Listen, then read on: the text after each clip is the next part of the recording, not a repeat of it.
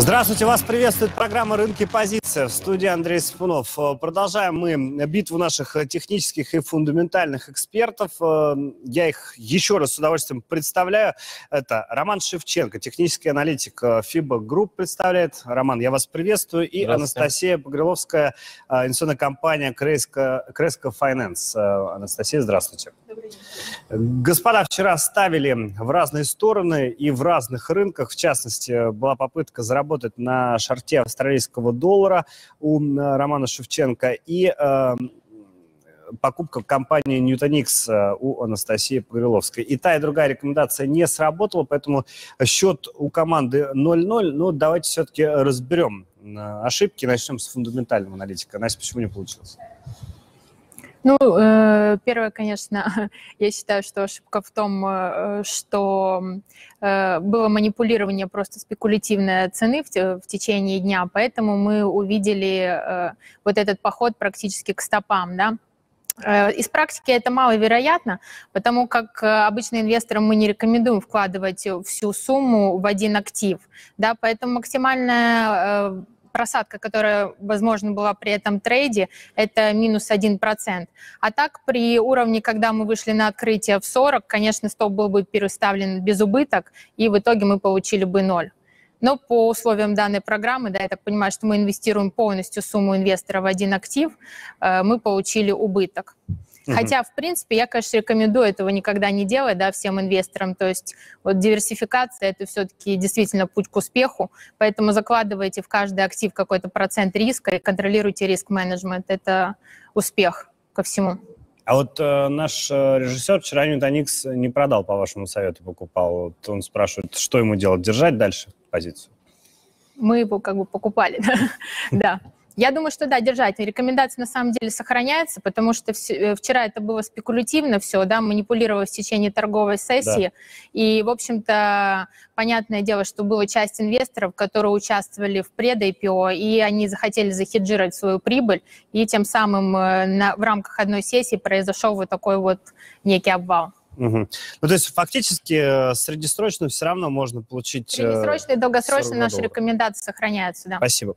А, э, Роман, Роман Шевченко, FIBA Group э, расскажет нам сейчас, почему же австралиец против доллара США не обвалился вчера, а сделал это сегодня, я так понимаю.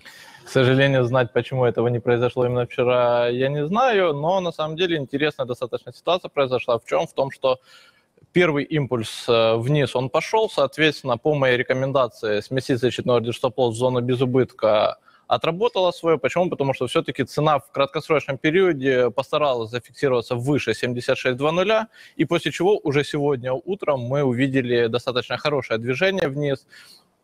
И те трейдеры, которые были в рынке, были перед терминалами, имели возможность повторно открыть короткую позицию от уровня 76.07, где стоял первоначально стоп. Почему? Потому что, ну, в принципе, на часовом графике хорошо видно, что под этой отметкой, после фиксации ниже нее повторно, произошла консолидация. Там порядка 3-4 часов цена удерживалась. Соответственно, те, кто повторно открывали позицию на продажу, зафиксировали по ранее отмеченной э, ордеру Take Profit по уровню прибыль. Угу. А, ну, фактически, да, но все равно мы не можем ноль Нет, засчитать сделка, как да, сработавшую э, ставку. Таковы правила программы. Прошу обратить внимание, как э, фундаментальный аналитик объясняет причину э, не сработавшей рекомендации и э, технический аналитик. Те, техническим аналитикам, естественно, проще. Сказал, не знаю, почему произошло. Так произошло. Часто, если спросят э, технического аналитика, почему вырос тот актив, потому что участники рынка решили, что он должен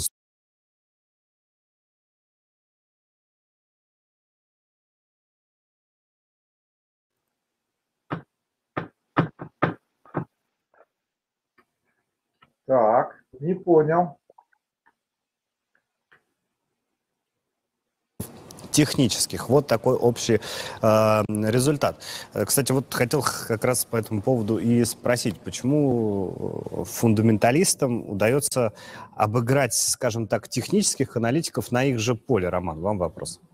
Достаточно сложный вопрос. Отвечать, конечно, за всех, э, наверное, будет неправильно. Посмотрим по результату текущей недели и сделаю со своей стороны все возможное для того, чтобы улучшить все-таки статистику в нашу пользу. Анастасия, в чем причина успеха? Ну, мне как бы на самом деле очень сложно объяснить, потому что действительно большинство торгуют технически, да, и мы в том числе тоже, да. Э, понятное дело, что фундаментальные показатели, они всегда являются основой. Ну, не знаю, я думаю, что э, сейчас в нашей ситуации, как и в трейдинге, все дело в удаче и везении, поэтому, видимо, удача и везение сейчас на стороне фундаменталов. Спасибо большое. А, обратимся мы к вопросам наших телезрителей. Вот э, один из телезрителей просит э, вас, Анастасия, прокомментировать дальнейшее движение нефтяных котировок на рынке. И вот вопрос звучит так. Видите ли вы 70 долларов за баррель, про который сейчас активно пишет рынок? Ну да, действительно, я вчера давала прогноз на неделю по марке Brand в районе 53. Сходили мы очень быстро, даже не за неделю, в общем-то, а за один день на фоне заявлений да, Владимира Владимировича. Поэтому я думаю, что, в принципе, мы да, до конца года видим 60, вот, а в 2017, возможно, да, мы увидим и 70. Но не исключено, что все-таки поход к 60 мы сможем увидеть через коррекцию. Наверное, в район вот 48-47 можем скорректироваться перед этим. А так, э, эра водородов продолжается. Э, обещали нам, что цена не упадет. В общем-то, нет основания не доверять, поэтому ждем роста. Угу. А Роман, есть что добавить? Ну, в принципе, я согласен. Единственное, что я и вчера говорил, и сегодня напоминаю активно покупающим трейдерам, что риск все-таки развития коррекции в среднесрочном периоде на протяжении ближайших недели-двух присутствует, поэтому необходимо грамотно управлять своими стопами и не рисковать достаточно большими объемами. То есть открываем сделку с ограниченными рисками. Угу. А доллар-то не пора покупать? Доллар уже давно пора покупать. Э, и, в принципе, мы видим с вами укрепление американской валюты практически по всему рынку. Если мы посмотрим на индекс доллара США, он укреплялся и вчера, укрепляется сегодня, и перспективы для дальнейшего роста все-таки присутствуют. Угу. Анастасия, вот если у меня рубли, то путевка в Таиланд в конце года, она будет дороже стоить или дешевле? Ну, я думаю, что будут стоить дороже, но это только исключительно в конце года, да, потому что в конце потому года... что цены повышаются в Ну, нет, в конце года. года у нас много корпоративных долгов, внешних долгов государства в валюте, и понятно, что и э, Центробанк начинает скупку, да, я даже думаю, что мы приближаемся к тем уровням интервенции, да, то есть в районе 60, я думаю, что мы сможем их увидеть, и, в общем-то, какого-то такого похода к 57, думаю, что, скорее всего, не дадут. И э, все время сезонность наша, она присутствует, да, к концу года у нас это все повышательно, поэтому мы можем увидеть район ну, 65-67, да. Угу. В моменте, да. Спасибо большое. Господа, давайте перейдем к вашим сегодняшним рекомендациям. Э, слово предоставляется Роману Шевченко, аналитику FIBA Group. Роман, ваши две минуты. На что делаем ставку сегодня? На сегодняшний день ставка, в принципе, сохраняется на укрепление доллара США, но сегодня мы будем покупать валютную пару доллар США японская иена. Мы с вами увидели закрытие дневной свечи над уровнем 103.80, 103.70. Соответственно, от этой области будет открыта длинная торговая позиция. Я ее уже, в принципе, открыл. Почему было принято решение открывать именно в области 103.70, 103.80? Потому что во время европейской торговой сессии мы получили достаточно мощный импульс вниз, ложный пробой этого уровня, но рынок на, на данный момент продолжает удерживаться над этим уровнем. Соответственно, присутствует риск дальнейшего роста этой валютной пары. Стоп-лосс размещаю за последний минимум, это 103 103,55, 103,50. Уберем немножко даже его ниже на 5 э, пунктов, соответственно, риск в данной сделке будет всего-навсего 30 центов или 30 пунктов, другими словами. При этом цель я выставляю, первую цель это 104.90, 104.95, потому что есть психологический уровень сопротивления 105.20. И, соответственно, более среднесрочная цель 105.50. Почему? Потому что это важный уровень сопротивления. Там, на самом деле, уровень сопротивления находится плюс-минус отметки 100 105.57, 105.58, соответственно, лучше всего прибыль фиксировать, не доходя до этого уровня. Ну и также относительно управления рисками в данной сделке, при достижении уровня 104.15 мы сразу же стоп-лосс смещаем зоны убытка к цене открытия сделки. Тем самым постараемся минимизировать все риски по открытым торговым позициям. Спасибо.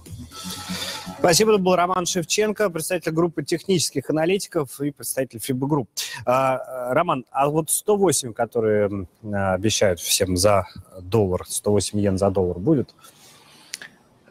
Там как раз Ну, проходит делает 200-дневная настолько- скользящая средняя. Делать настолько долгосрочные прогнозы в рамках технического анализа я бы не стал, но перспектива именно на укрепление данной валютной пары, в том числе и за счет э, роста доллара США, конечно же, есть. Мгм. Но те трейдеры, которые торгуют в долгосрок, э, те, которые держат столь длительные открытые позиции, лучше всего просто-напросто управлять стопами. То есть подтягивать за каждый последний минимум, тем самым не позволяя понести убытки. Позволяет И мож- дать прибыли и вовремя да, заработать больше и убытки. больше. Это вечное правило технических э, аналитиков. Анастасия Погореловская, Погореловская, прошу прощения, инвестиционная компания Креска Финанс. Э, ваши две минуты и ваша ставка. Да, сегодня мы рекомендуем компанию Avexis Inc. и покупать будем от уровня 50. Э, Стоп-приказ размещаем на 47,50. Ждем в течение суток рост до 53. Ну, в рамках недели ждем 58. Опять же скажу, что сделка спекулятивная, да, рекомендуем размещать туда не весь портфель, а всего лишь часть какую-то. Компания находится в биотехническом секторе, да, и занимается разработкой препаратов и исследованием э, клинических испытаний. Э, Вчера вышел отчет по поводу того, что один из э, флагманов этой компании удачно прошел все испытания, поэтому, в общем-то, есть все основания на то, что мы увидим среднесрочный рост этой бумаги. В общем-то, на это сделана и ставка. А также в целом э, хочу рекомендовать биотехнический сектор, потому что он действительно дает возможность э, с минимальным риском заработать довольно максимальную прибыль. Единственное, что все это нужно контролировать, потому как в основном движения в этом секторе, они происходят э, по результатам решения Федеральной комиссии по лекарствам. И если прохождение удачным, то мы всегда видим вверх довольно большие гэпы. Также очень часто происходит слияние поглощения, то есть в основном крупные фармацевтические компании пытаются э, купить своих конкурентов, да, либо компании более мелкие в этом секторе, э, например, компания Pfizer, да, она любитель э, участвовать в таких э, вещах. Поэтому вы можете действительно очень хорошо заработать, э, рискуя совсем мали- малой долей своего портфеля, вы можете заработать десятикратную прибыль. Мгм.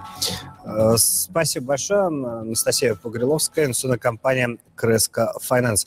Э, Напомню, что наш счет между фундаментальным и техническим аналитиком э, 0-0. Мы ждем результатов э, от э, каждой ставки. Я напомню, что э, сегодня мы э, покупаем э, пару доллар-иена с близким стопом и близкой целью, и также э, компанию Авексис э, покупает э, Анастасия Погреловская из э, Креска Финанс. Э, Кстати, вот по поводу биотехнологий, э, вот если сравнить с, с индексом, это же отсталый сегмент. Если мы предполагаем, что в ноябре они будут повышать процентную ставку, то биотехнологиям жить?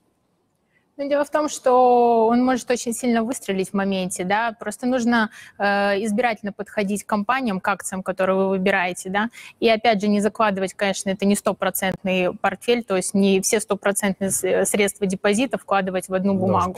Но, точно. по крайней мере, это очень перспективно, то есть действительно можно получить огромную прибыль. Мгм. А, ну и вот у нас осталось буквально по 10 секунд э, каждому. Спрашивают у нас телезрители, попросили узнать, будет ли коррекция в Штатах в этом году. Давайте с вас, Настя. Коррекция, ну, я думаю, что да, будет. Все ждут, хотя многие ждут еще, по-моему, Я с уже два года 1840, многие ждут коррекцию, да. Но уже намечается, намечается. Я думаю, что все уже устали, и, в общем-то, к концу года мы можем. Спасибо, Анастасия Погореловская, Cresco Finance и Роман Шевченко, FIBO Group.